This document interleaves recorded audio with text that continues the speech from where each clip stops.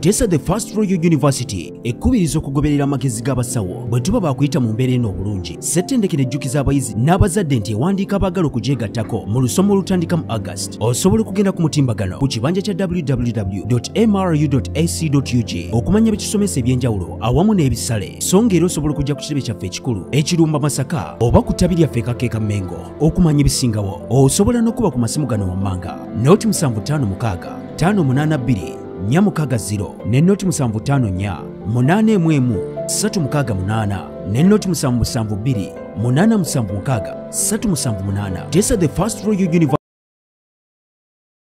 You are most welcome to MRU TV. I'm by names of Teacher Kenya Joseph, and I'm going to take you through trades in East Africa. Basically, we have we have three trades. That is the Indian Ocean trade, Indian Ocean trade.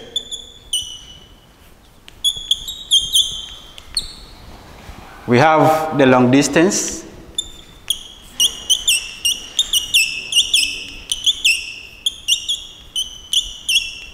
long distance trade. And lastly, we have this we have slave trade. So I'm going to take you or I'm going to discuss these three trades in East Africa, the Indian Ocean trade, long distance trade, and then slave trade. Basically giving you the key areas which are examined as far as these trades are concerned. So I'm going to start with the first trade, that is the Indian Ocean trade. I'm going to start with the Indian Ocean trade. It is also sometimes referred to as uh, the coastal trade, coastal trade, or it is sometimes referred to as the trans trans-Indian trans-Indian Ocean trade. If it is not termed as Indian Ocean, it is sometimes referred to as coastal trade or referred to as the trans-Indian Ocean trade. So the examiner may use one or one of these three. The examiner may use Indian Ocean trade, coastal trade, or trans-Indian Ocean trade, meaning the same. So I'm going to give you the key areas which are examined as far as these trades are concerned. We are going to look at the organization, the first aspect, the organization. How was the trade organized? We are going to look at the organization of this trade. Uh, second, we are going to look at the effects, the effects of Indian Ocean trade. Basically, these two areas. are Indian Ocean trade, it took place around 1000. It was around 1000 up to 1500 AD.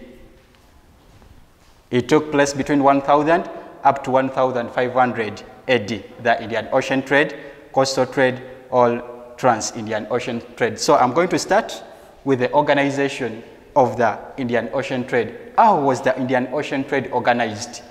So organization. Organization. We're going to look at the organization.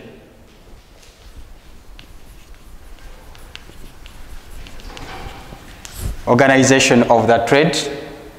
Basically, we are going to concentrate on, we are going to, under organization, we are going to look at the first aspect, that is the participants, participants,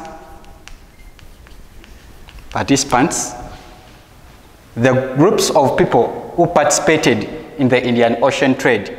Then second aspect, we are going to look at the main, main exports, main exports, all major exports. Then third, we are going to look at the main imports, main imports, main imports. Next, we are going to look at uh, the medium, medium of exchange, medium of exchange. Another one, we are going to look at medium, medium of communication, medium of communication, medium of communication. Then we look at means medium of transport, medium of transport, of transport. And then we shall look at the group of people who financed this trade. So the Indian Ocean trade, as I told you earlier, that it is also termed as the coastal trade or the trans-Indian Ocean trade, and it took place in 1000 up to 1500 AD. The organization, I've summarized the organization of the Indian Ocean trade. You have to talk about the major participants or the main participants. The groups of people who participated in this trade. We are seeing that foreign, foreign, foreign participants included uh, the Arabs, the Greeks, and the Persians. Then also the coastal people participated in the Indian Ocean trade, and these included the Bantu and the Kushites. So those were the main participants, are, or groups of people who participated in the Indian Ocean trade. Then major, all main exports, these were goods in the interior. These were goods in the interior of East Africa. For example, ivory, you talk about slaves, you talk about ostrich feathers, among others. Then you also talk about main imports, goods from the coast of East Africa, main imports, for example, mirrors, guns, clothes, among others. Then you also talk about the medium of exchange. At first, the medium of exchange was barter, was barter system, exchange of goods for goods. Then later, coalitions, later coalitions were introduced. Later coalitions were introduced as a medium of exchange. Then a medium of communication, Swahili was used as a medium of communication during the process of Indian Ocean trade. Then you talk about the medium of transport that slaves were used to carry goods.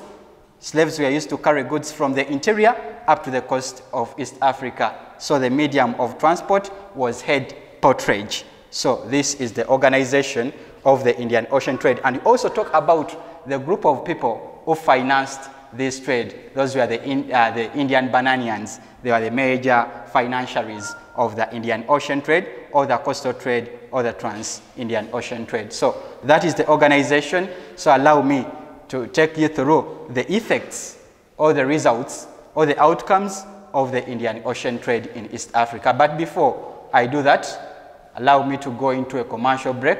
Then after, we, we come back and look at the effects or the results of this trade.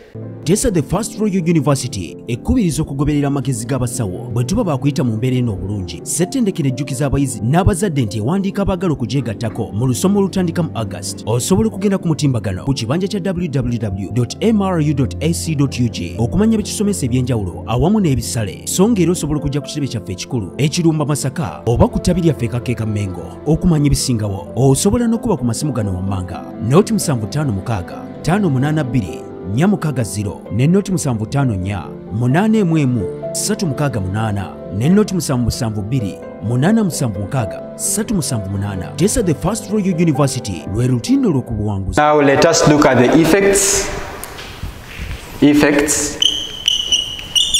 effects of Indian Ocean,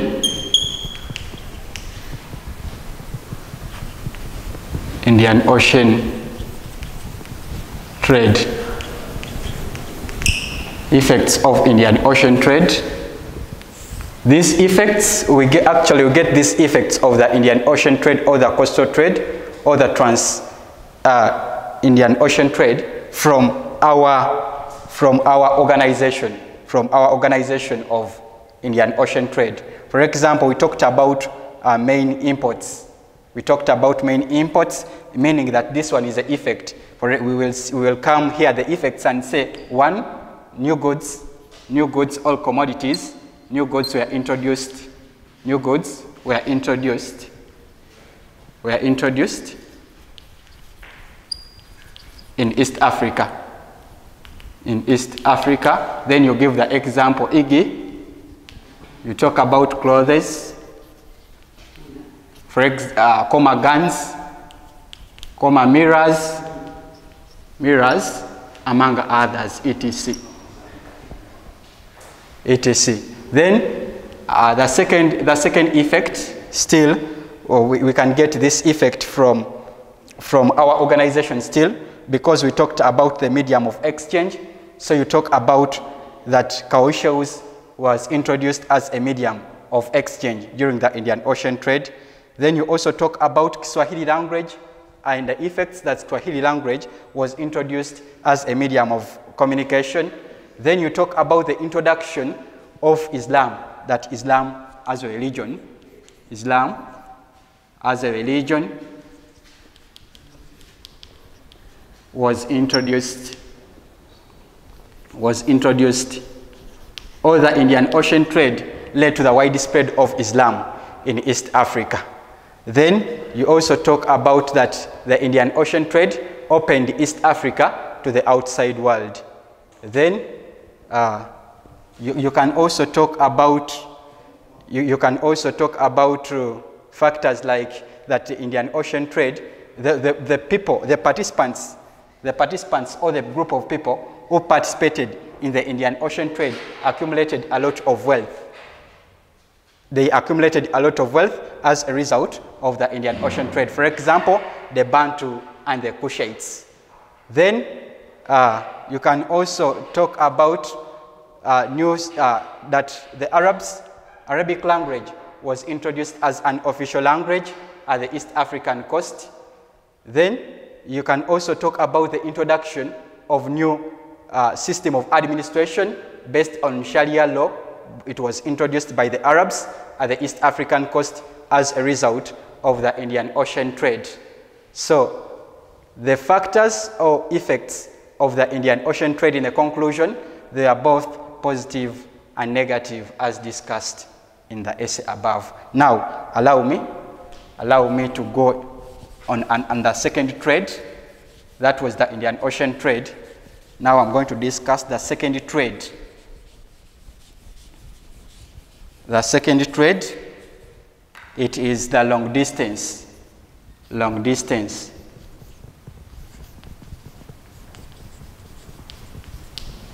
Long distance trade. It is also sometimes referred to as the caravan, the caravan trade, or it is also referred to as the pre-colonial, the pre-colonial, the pre-colonial trade. If it is not termed as long distance trade, it can be termed as caravan trade or pre-colonial trade. So this is the long distance trade and under long distance trade we are going to look at uh, the reasons, we are going to look at reasons, reasons or factors for the growth and development, reasons or factors, or factors, or factors for the growth, for the growth and development, and development, and development of long distance, long distance trade, long distance trade. So we are going to look at the reasons or factors for the growth and development of long distance trade or caravan trade or pre-colonial trade. And after looking at the reasons for the growth of this trade, we shall proceed and look at the organization, the organization, the organization, the organization. This one was the first factor which is examined. Now the second one, organization. Organization of long distance trade. Organization of long distance trade. The third area shall look at the effects, the effects or the impact or the results of long distance, long distance trade, long distance trade. And then shall look at factors, factors, factors for the decline, factors for the decline, factors for the decline of long distance trade, factors for the decline of long distance trade. So that we are going to look at those basic areas as far as long distance trade is concerned. Now I'm going to start with the reasons or factors for the growth and development of long distance trade. Uh, long distance, the reason just why it was termed as long distance trade, it involves people moving long distances from the interior of East Africa up to the coast. It took place in the first half of the 19th century. Took place in the first half of the 19th century. Then the major participants, you talk about the Arabs, were the major participants of this trade, and even African tribes, African tribes like the Yawo, the Akamba, the Chaga, the Nyamwezi, and the Baganda, among others. Those were the major participants in the long distance trade. Now let us look at the reasons or factors for the growth and development of long distance trade. One of the major factors for the development of this trade was the presence of valuable items, presence of valuable items in the interior of East Africa. For example, you talk about gold, you talk about ivory, you talk about ostrich feathers, among others. It was the major factor for the development, for the growth and development of long distance trade. Valuable items in the interior of East Africa. Then you talk about the presence of middlemen in, East, uh, in the interior of East Africa. For example, the Yawo, the Akamba, the Chaga, among others.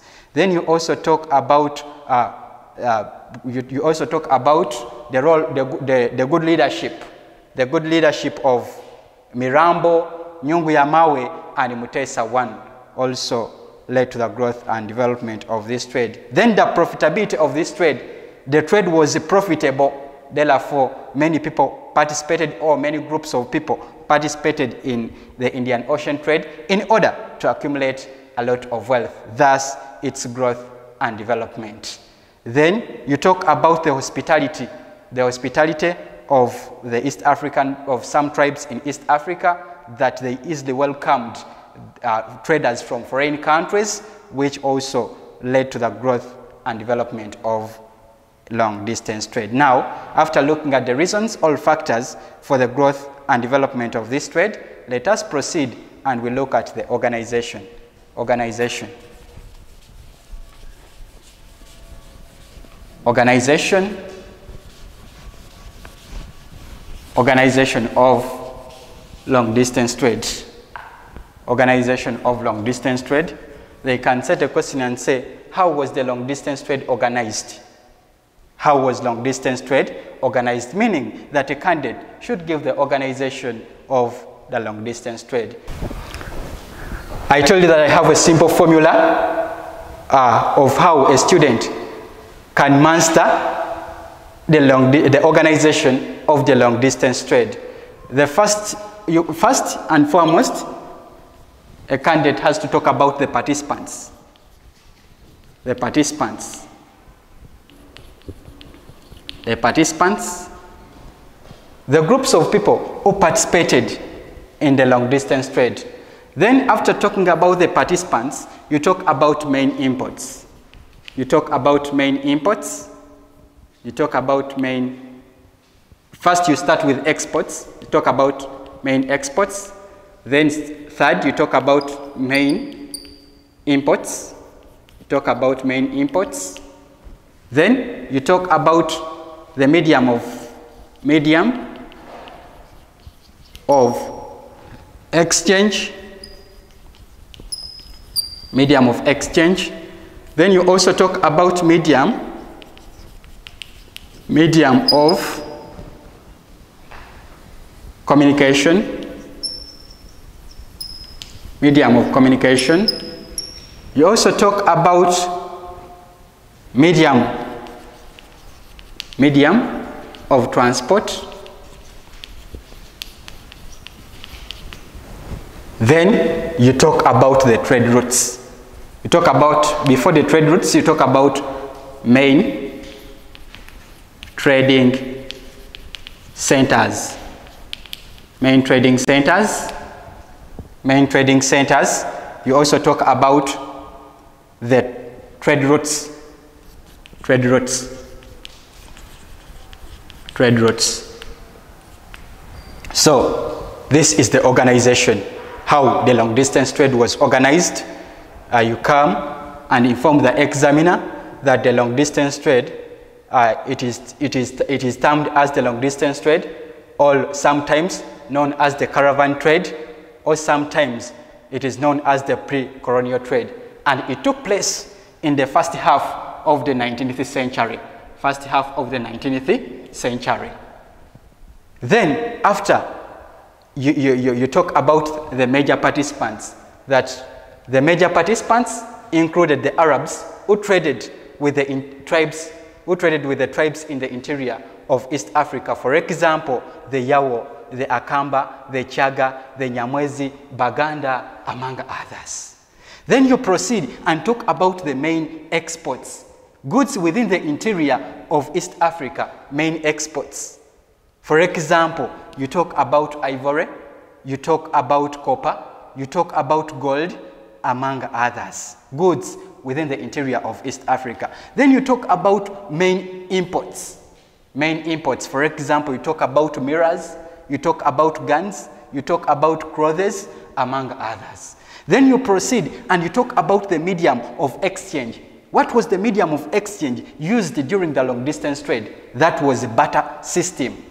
But exchange of goods for goods. And later, kawaishas, later, kawaishas were introduced. The spelling is here of kawaishas. Kawaishas were introduced. Kawaishas were introduced as the medium of exchange. Then you talk about the medium of communication. The medium of co communication, the language which was used in the process of long distance trade, that was Kiswahili. Kiswahili was used as the medium of communication. Then you proceed and you talk about the medium of transport. By then, slaves were used to carry goods from the interior of East Africa up to the coast. And the system of transport was known as heady porterage. Goods were carried on heads by the slaves from the interior up to the coast of East Africa. And then you come and talk about the main trading centers. Main trading centers included Bagamoyo, Tabora, Ujiji, among others. And then you come and you conclude by talking about the trade routes. The trade routes which were used by the traders. For example, you talk about uh, the, the, northern, the northern route. You talk about the central route, which was the busiest and the biggest route. Then you talk about the southern route. So that is the organization of the long distance trade. Now allow me to proceed to the effects. Effects. Effects. Let us look at the effects of this trade. Effects.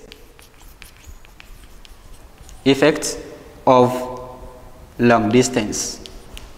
Effects of long distance long distance trade. Effects of long distance trade. So they can set a question and say, what were the, what were the results of the long distance trade? Or what were the effects of the long distance trade? Or if they don't use effects, they can use impact. So they can use impact to mean effects. They can use results to mean effects. They can use outcomes. What were the outcomes of the long distance trade?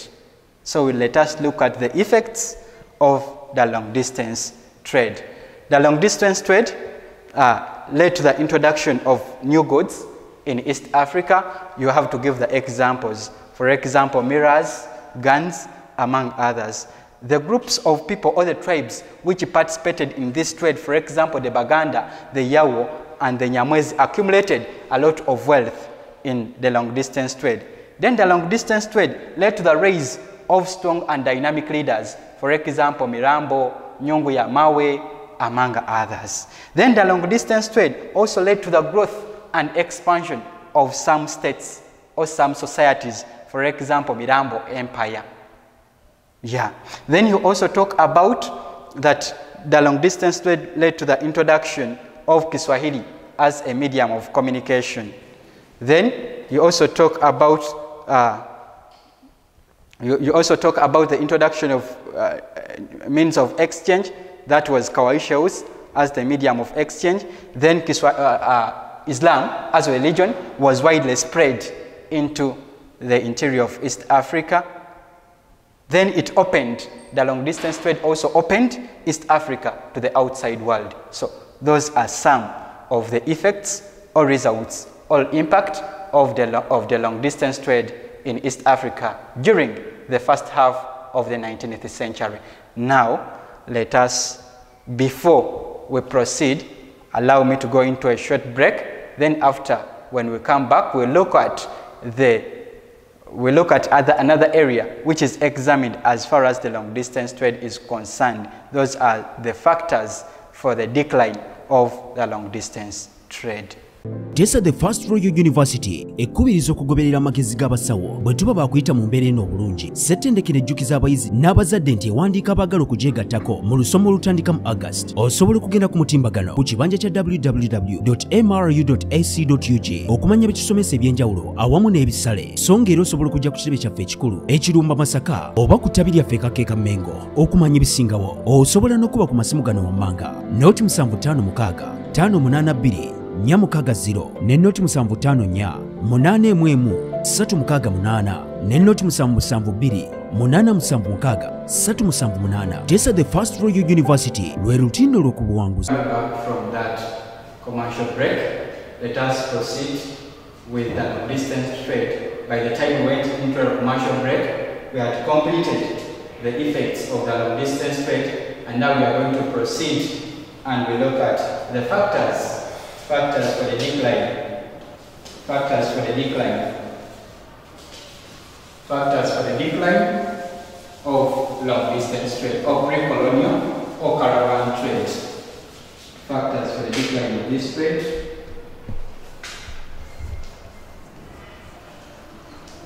Factors for the decline.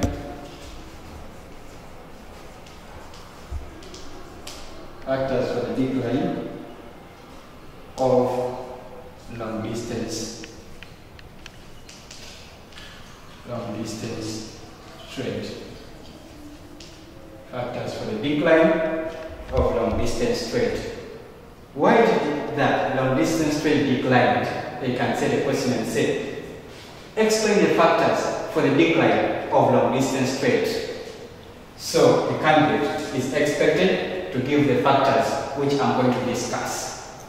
One of the factors, remember, we say that factors, one of the factors for the growth and development of long distance trade was the presence of valuable items in the interior of East Africa. Again, factors for the decline of this trade was scarcity, scarcity of trading items, that goods or items in the interior of East Africa became scarce. For example, uh, gold, slaves, ivory, among others. Thus, the decline of long distance trade.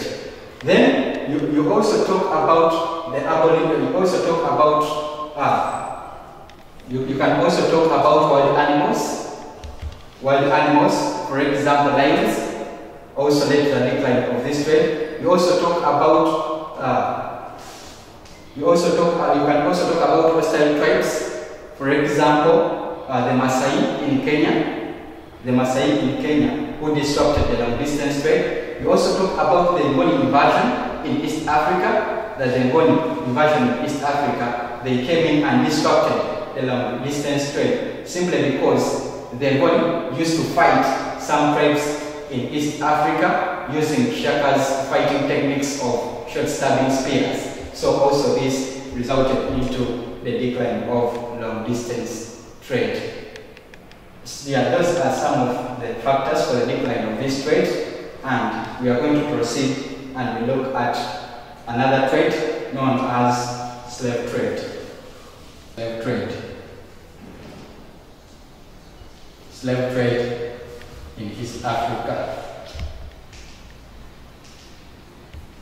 This is the last trade. But before we go any further, a candidate should be well conversant with the definition of slave trade. What is slave trade? Slave trade is a commercial transaction of buying and selling of human beings. That is slave trade. And under slave trade, soon we are going to look at the reasons. Reasons or factors. Factors for the growth. For the growth and development. For the growth and development of slave trade. Of slave trade. We are going to look at reasons or factors for the growth and development of slave trade. The commercial transaction which dealt in buying and selling of human beings. Here, a candidate can talk about, can talk of factors like the profitability of the of slave trade, slaves were on high demand in different European countries. Therefore, this resulted or led to the growth and development of long distance trade. Then the candidate can also talk about the settlement of Seyyid Said into Zanzibar, also led to the growth and development of this trade. Because Seyyid Said wanted slaves to work on his clove plantations in Zanzibar. Then the, the, the, uh, can also talk about uh, the introduction of guns. The introduction of guns by the Arabs in East Africa also led to the growth and development of slave trade, simply because guns were used in the process of capturing slaves. Therefore, also this led to the growth and development of this trade. Then, after looking at the reasons or factors for the development of this trade, we also proceed and we look at the organization organization. Organization, organization, organization of slave trade. Organization of slave trade. How was the slave, how was slave trade organized?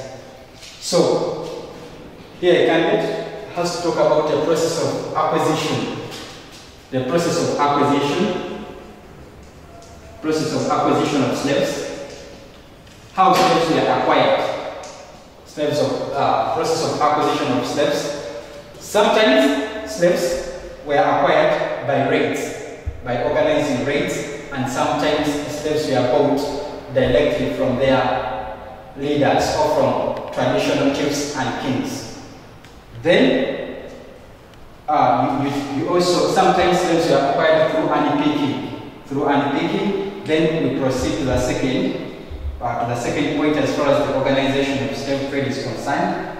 Uh, we talk about um, transportation. Transportation. After acquiring slaves, how slaves were transported from the interior of East Africa, from the interior of East Africa up to the coast. Slaves were tied on ropes and chains, and then goods like copper, ivory were loaded on their heads, moved from the interior up to the coast of East Africa. But the many died on the way into, before reaching at the coast of East Africa. Then, third, we also talk about uh, the, the, the tribes, tribes involved tribes involved, tribes involved in slave trade. This included Baganda, Nyamwezi, among others, the tribes involved in long distance in, in, the, in slave trade. Tribes involved in slave trade, Nyamwezi, Baganda, among others. Then we proceed and we, we, we, we also talk about slave trade markets. Slave trade slave trade markets. Slave trade markets. Then after slave trade markets, we talk about slave trade routes. Those included, there were basically three slave trade routes. we had the northern route, the central route, and the southern route. So that is the organization of slave trade, how slave trade was organized. So basically, those are the three trades which are examined in East Africa. As I've discussed them, I've discussed the Indian Ocean trade, which took place in 1000 up to 1500 AD. It is also sometimes, sometimes refer, referred to as the coastal trade or the trans-Indian Ocean trade. We have to look at the factors for the development of the Indian Ocean trade, then the organization of Indian Ocean trade, then we bring out the effects or the results or the impact of the Indian Ocean trade. Then I've also discussed the long distance trade. The long distance, it is also sometimes referred to as the caravan trade or the pre-colonial trade and it took place in the first half of the 19th century. It involved people moving long distances from the interior up to the coast of East Africa and we have talked about different tribes who participated. For example, the Yao, the Chaga, the Nyamwezi, the Akamba, the Baganda, among others, who traded with the Arabs. Then we have looked at the reasons or factors for the growth and development of long distance trade and then the organization, how was long distance trade organized.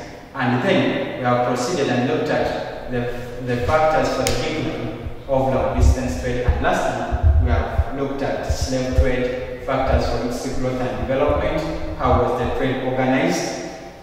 Yeah, basically, those are the trades which are examined in history of East Africa. With that, allow me to submit. Don't forget to subscribe to MRU TV. I remain teacher Bukenya Joseph, a teacher at Budo College and Vienna High School. You can contact me on 075 70 53 81. Thank you so much. A glance at the AIM journalism empowerment. When you take a sport or either take a deep look at the way the AIM journalism department is devoted to the practice. It is hands-on to every participant and backed by the well-stocked studios of Royal FM and Amarillo TV. The department has fed the group of practice with outstanding personnels backed by professionals in the practice. And it is seen from the products of the different students. Take a glance at every sector. The Royal FM has all the required machines and personnel to release a well-backed student. Amarillo TV now has some of the most competitive programs in the media world. It is Mutesa One University Journalism Department.